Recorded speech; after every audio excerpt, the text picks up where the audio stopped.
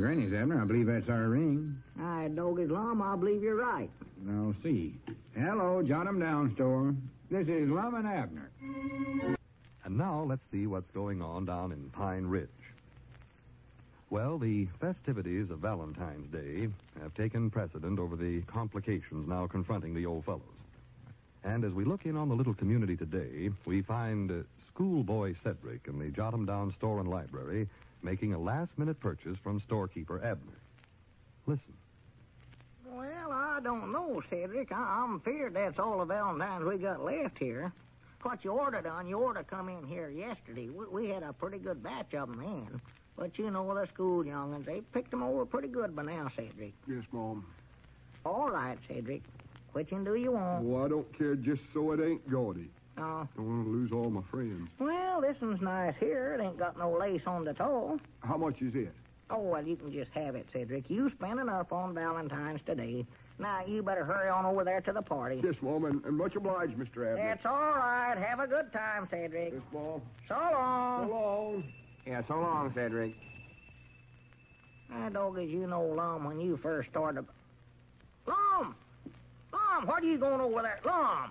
Lum! What do you want? Well, for the land's sakes, what are you doing crawling around down there on your hands and knees behind the pickle barrel for?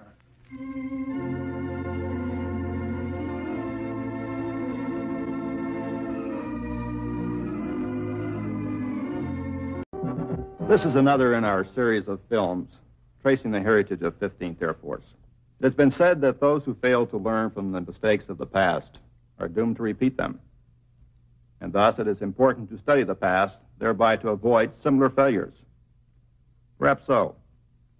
But I prefer to believe that we who seek progress can learn even more from the success of those who have gone before. In 1935, General Headquarters Air Force was established. But while the bomber concept grew, opponents as late as 1939 still sought to limit bombers to a 300 mile range.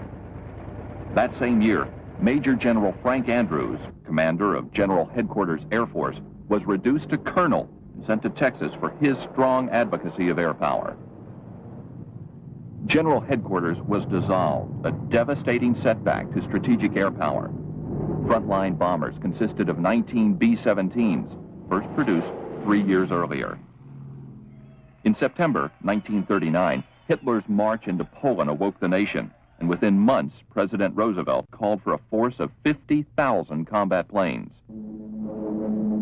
The air war in Europe brought the bomber to the forefront. The American Air Corps developed high-altitude, daytime precision bombing techniques. With B-17 Flying Fortresses and B-24 Liberators leading the way, the world's first broad-scale long-range air war was underway. With its aircraft designed and its concepts of operation based on those earlier lessons, 15th Air Force was activated in North Africa in November 1943. Its first commander was Major General James H. Doolittle, hero of the dramatic B-25 raid on Tokyo. Created as a strategic air arm to bomb targets in southern Europe, 15th, equipped with medium and heavy bombers, began combat operations throughout the Mediterranean. Flying first from North Africa and later from Italy, 15th hammered enemy targets in France, Germany, Italy, and the Balkans.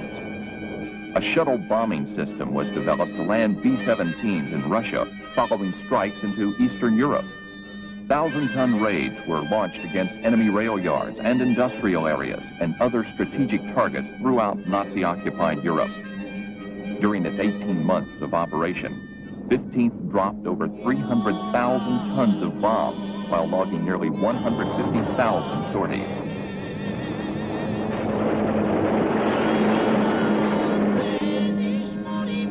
The transportation system of Hitler's war machine was crippled throughout much of occupied Europe. By then existing standards, accuracy was considered exceptional. Eight out of every 10 bombs striking within 2,000 feet of target centers. By war's end, the contribution of 15th Air Force to the Allied victory substantially advanced the concept of strategic bombardment.